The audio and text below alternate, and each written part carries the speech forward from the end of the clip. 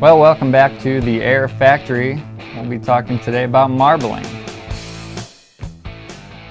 AIRE and Outcast have been building the highest quality inflatable boats for whitewater and fishing for almost 25 years. After meticulous research and testing, we select the highest quality materials, and that will perform for you year after year. PVC in fabric form comes on a roll. It's manufactured similar to carpet.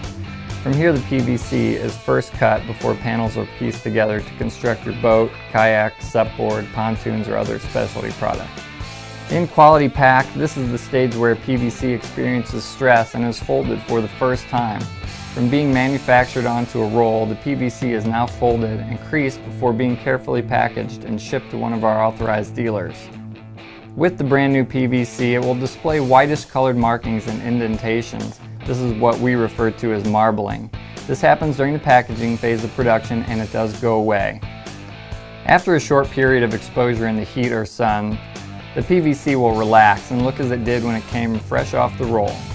When we display new products at trade shows or events, we often use a heat gun to help the PVC quickly relax for display purposes. This is not necessary as these markings will disappear with use, but if you choose to use a heat gun, please use care not to overheat or burn the PVC. Once the PVC has relaxed after the initial packaging, the color and texture will be free of marbling and will not return. Marbling is simply cosmetic and does not affect the quality or performance in any way. After a fun day on the water, the crease marks, coloring, and indentations will disappear. If you have any further questions, give us a call or please check our website, aire.com, for details.